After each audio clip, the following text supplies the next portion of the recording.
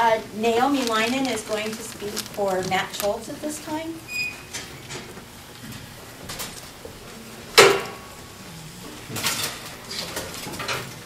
I also want to thank Bill and his wife for hosting. Thank you very much. And it's nice to see such a nice crowd out here in the county. Um, my is Naomi Leinen. I'm the Regional Field Director for Matt Schultz for Congress. And we also have an office in Council Bluffs. We have signs in.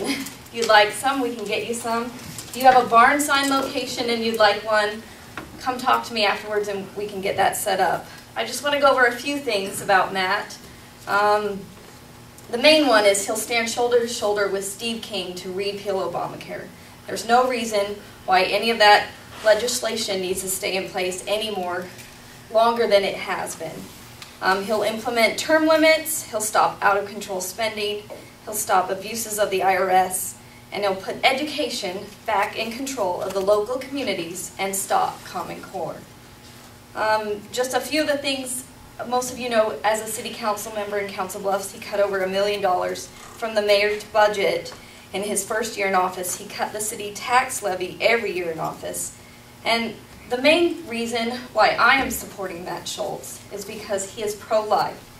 He successfully fought to keep late-term abortionist Dr. Leroy Carhart out of Council Bluffs by putting a deed restriction on the land so that we do not have an abortion clinic in Council Bluffs. So that's the main reason. Thank you. We appreciate your support.